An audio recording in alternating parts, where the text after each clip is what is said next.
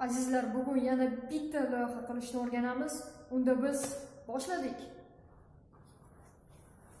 Va uchta e, sensorlardan iborat va ushbu e, line follower sensorlari yordamida qora liniya bo'ylab harakatlanadi. Bittagina qora liniyadan harakatlanmaydi, qizil liniyadan harakatlanishi mumkin, ko'k liniyadan harakatlanishi mumkin. Aynan e, analog signal chaqirganligimiz sabab. Va bu e, aynan deymizmi orqasida mana bu yerdan e, suv qo'ysak mana e, joyi mavjud. Mana shu yerga suvni qo'yamizmi yoki bo'lmasa boshqa narsalarni qo'yamizmi? Qora liniyadan yoki boshqa rangli liniyadan harakatlanib kerakli joyga olib boradi. Va qachonki